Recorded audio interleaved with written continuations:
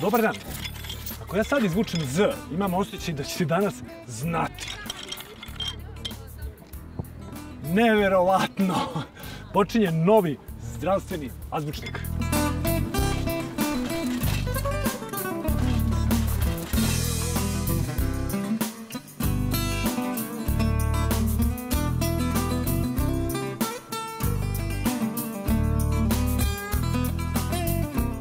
Izvinite što vas prekidamo u slušanju muzike, je li muzika ili knjiga? Muzika. Muzika. E, mi smo tu ovaj, danas da proverimo koliko naši ljudi u Srbiji znaju o svom zdravlju. Odnosno o svom telu i uopšteno o zdravlju. Znači nema veze s koronom, to nas ne zanima. O tome svi sve znaju, već toliko se priča godinama. A, ovo su stvari iz osnovne škole. Emisija Zdravstveni azbučnik. Proveravamo na slovo, dakle, koje vi izaberete, proveravamo šta znate o svom telu. Ajde da probamo. Ja ću da pomognem. ja ću da pomognem. Ma jok, evo ja ću da izvučem. Ovo, ja ću da pomognem malte ne sve. Pitanje je na slovo O. A, glasi ovako. Nema potrebe da imate tremu. Je li ovo prvi put na televiziji? Verovatno ne, mada nisam sigurna. Nije, nije, ali imate veze sa zdravstvom bilo kakve, sa, Pa ne baš. sa lekarima, imate u porodici lekara. Imam farmaceuta. Dobro, to je onako kao... Uf, ovo je lako, ovo je jedno pitanje iz kvizova, jel? mora da ste ga čuli nekada. Koji je najveći organ na ljudskom telu? Koža. Tako je. Tako je, jel sam ja rekao da znate? Znači koža. E sad, šta znamo o koži? S obzirom da je tolika kolika je, kad bi je razvukli, kad bi mogli da je postavimo, nekako da je spojimo i razvučemo ko- koja je to površina u kvadratnim metrima. Šta mislite? Ajde da probamo da pogodimo. Uh. Prosečna, znači ne zanima nas precizno, samo prosečna. Pa Od do. Baš ne bih mogla pogoditi. A šta mislite sad, kad bi, kad bi mogli nekako Čoveka onako. da, da, da, da, da, da ga izvinite na izrazu, oderemo i da to razvučemo, koliko bi to bilo u kvadratima? Uh, Jel više od kvad, jednog kvadrata? Pa sigurno je više od jednog kvadrata. Sigurno je više. Sve zavisi naravno i od visine čovjeka. Da. E, zato se to kreće između 1,6 i 2 kvadratna metra. Ali vi znate da se koža obnavlja celog života, tog dana. To da. E, Znate da zbog toga kažu da prosječno, da prosječan čovjek, odnosno prosječne starosti od 70 godina, pošto stalno nam otpadaju mrtve ćelije kože, ta regeneracija, to- odnosno tom regeneracijom, mi odbacimo između 18 i 20 kg kože za 70 godina, ako bi živjeli 70 Da li verujete? I još jedan zanimljiv podatak. Još, da, još nešto, evo. Možda i znate, a možda ste samo zaboravili, ali ja ću reći da naučite od nas. Sama koža ima kilažu, kad bi opet, nasmejaću se, odrali čoveka i spustili to na vagu, ovaj, ima težinu između 3,5 i 5 kg. Znači, toliko vam od kila, od težine Samo koža. ide na kožu. Ali vi ste dali tačan odgovor koji je najveći organ i to je to. Hvala vam što ste učestvovali. Je li bilo teško? Ne. Preživjeli. To evo, lepo se ispriča smo. Čuli Treme nešto bez. zanimljivo. Nema treme, nema ništa. Idemo mi dalje, ekipo. Vama hvala, mnogo Hvala. uživajte u divnom danu. Prijatno.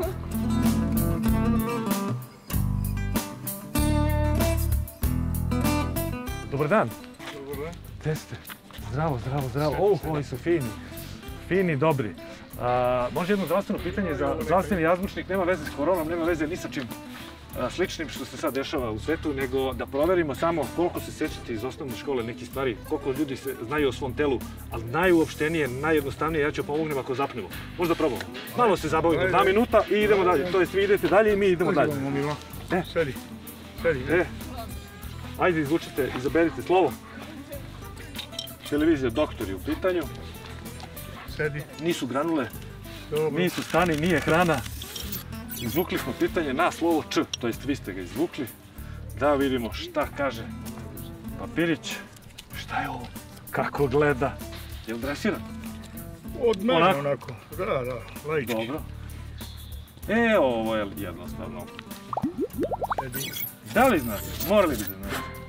Pošto ljudi mešaju ovo, sad ću da mi kažem s čim mešaju. Da li znate šta je čukalj i gde se nalazi? Znači čukalj.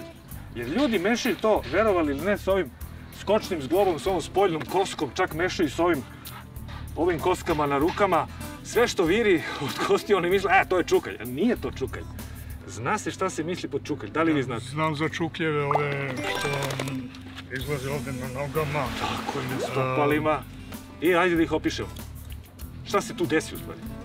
Pa sad e, ne znam da li je to zato što obično je kod žena više se to dešava, da li je to zbog toga što imaju štikle pa, pa su opterećene kosti tamo pa sa strane se deformišu i ovo ono. Apsolutno ste u pravu. Mogu. Znači, sve ovo što ste rekli, apsolutno. Ili imate veze sa zdravstvom? Ne, ovaj, Privatno, vi mislim, ste malo pre rekli ovaj, osnovnu školu, ja sam osnovnu školu, jedinu osnovnu školu sam završio u Jugoslaviji, u Aha. Skoplju. Od 73. godine živim u Švajcarskoj, u stvari do pre dve godine pa sam se vratio. Ostale škole sam tamo završio, tako da ako se radi o nekim specifičnim Da, ali ovo... rečima, jer nije mi maternji jezik, u stvari Odlični ste, odlični ste. Što se tiče Skoplja, znam, divno je, bio sam tamo u vojsci, prelep grad. E, a, da dodamo samo par podataka, čisto da dopunimo, to jest da podsjetimo naše gledalce u vezi sa čukljem. To je u stvari, e, do njega dolazi zato što se dešava neravnoteža među mišićima stopala i onda u korenu palca dođe do deformiteta i do, e, potpuno ste lepo rekli, kada se biomehanika stopala, stopala poremeti visokim štiklama ili čak kažu da predispozicije imaju ljudi sa ravnim tabarima. Onda dođe do pomeranja, iskoči kost i imamo problema koji mogu da se reše onim protezama, raznoraznim pomagalima i tako dalje. A jeste znali da postoji i sa druge strane stopala, znači kod malog prsta, na spoljnom delu malog prsta postoji nešto što se zove krojački čukalj. A isto je, samo jako ređi, mnogo ređi deformitet. Eto, Nisam znao, ne znam zašto krojački, da li ima to Pa- neke veze sa krojačima, što tako naziv. Tako su ga nazvali, zanimljivo zvuči, ali ovaj, to je sad nebitno, to sam samo hteo da, da, eto, da čujete, da, saznate i vi, naši gledalci. Vi ste dali potpuno tačan odgovor. Čukalj je jedino, kada kažemo čukalj, se odnosi na deformitet na stopalu u korenu palca. Hvala vam lepo što ste učestvovali, nastavite. Hvala. Uživanje.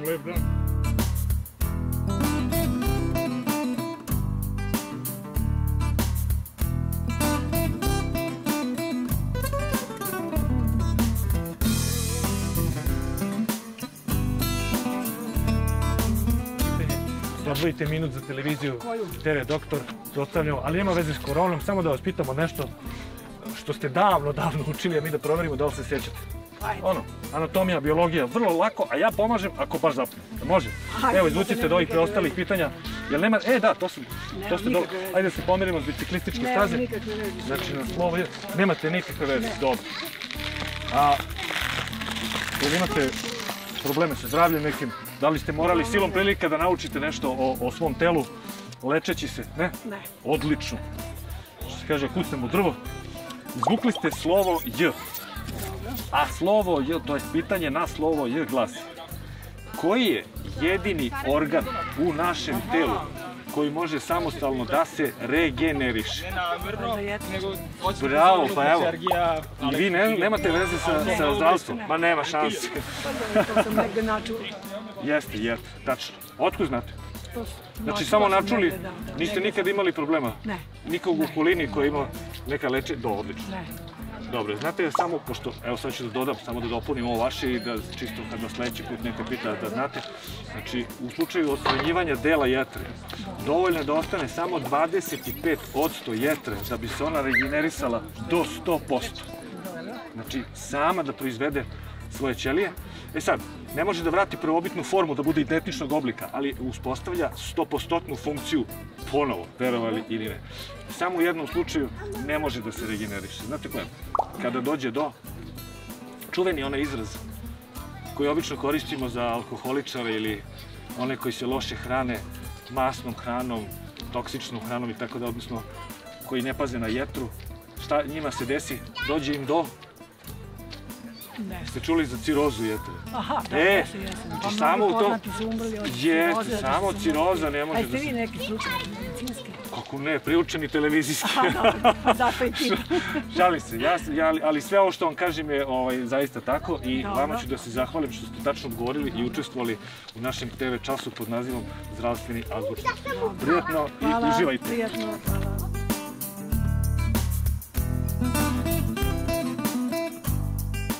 Ima vas dosta, sasvim sam siguran da ćete znati tačan odgovor. Emisija je Zdravstveni azbučnik, proveravamo koliko ljudi znaju o svom telu.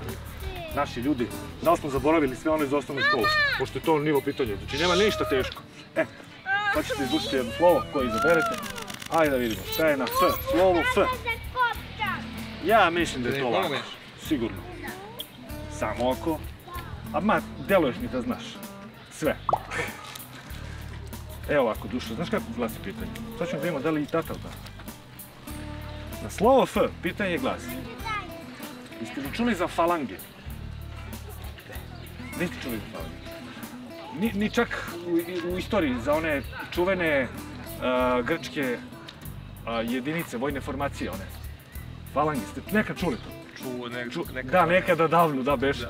Pa dobro, ne mislimo na te falange, ali ljudi prvo asociraju kad kažemo falange na te ovaj, pravugaone jedinice kad se oni zatvore onako sa štitovima i kopljima. Ali ne, na ljudskom telu takođe postoje falange. Šta mislite gde se nalaze i šta bi to moglo biti? Bilo kakvu predstavu da li imate? Jel to na glavi, jel to na, na ekstremitetima, jel Ajde, to će na nogama, rukama, šta, kako vam zvuči? te? Kako tebi zvuči? Falange bi mogle biti gde? Hm? Hm? Koji deo tela? ne zna. Da, da ne.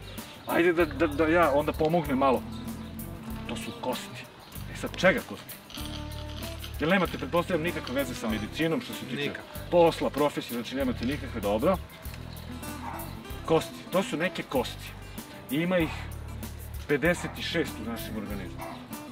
Da li sam išta pomogao? Teško. Znači gla, glavu ovaj izbacujemo. Nije glava, nije glava, nije glava. Glavu izbacujemo Ne, ne, znači nije glava. u vezi udova. Tako je, oni su na samim završecima naših udova. E sad, ako ih ima 56, to bi onda Stopalo. morale biti, tako je, i na stopalima ih imamo, i na šakama ih imamo. E sad ću da vam otkrijem tajnu, da su E, to falange, se nazivaju kosti svih naših prstiju, i na nogama, i na šakama. Znači, na svakom prstu imamo znači, jednu, drugu, treću falangu. Da. I sad ovako, četiri prsta puta tri, to je 12. I ovdje imamo dve na palcu, jedna druga, to je dve. Znači na svakoj šaki, šaci imamo 14, 14, dole isto imamo 14, 14, to je 56. Nešto smo naučili. Znači sad, tako je, sad ako odete u neki drugi kviz i neko vas drugi saleti ovako kao ja, pitaš šta su falange, šta su falange, a vi kažete pod jedan, grčke jedinice, antičke, pod dva, kosti prstiju na ljudskom telu. Hvala vam što ste učestvovali Hvala vama. u svakom slučaju. Majice, kaži čao. Ćao Fatkiši, ćao!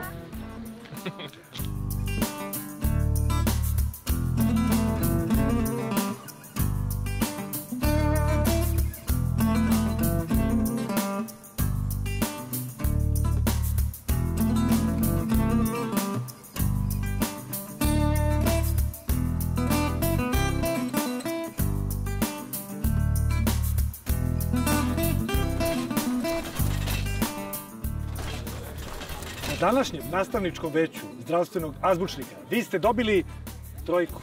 Doviđenja.